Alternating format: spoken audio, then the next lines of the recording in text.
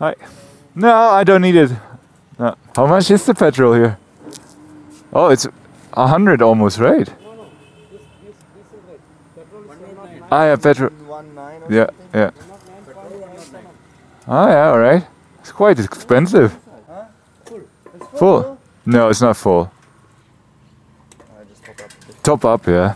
But how, what is the mileage for the for the Royal Enfield? You know? What do you mean? Like like how far can you go on one tank? Ah, it's like one tank. Uh, gives you like 250 kilometers. right? All right, yeah, same like mine, Yeah. basically. Yeah. All right. But you have a reserve tank which gives you another Yeah. 40 to 50. Yeah, I have like when I'm on zero percent, I st- I still have like 20 kilometers left, 20, 25, depends on yeah. Because there's no indication. So Yeah. whenever I feel like Uh, yeah, and then you turn on reserve, and then yeah, that's what you do on the old bikes.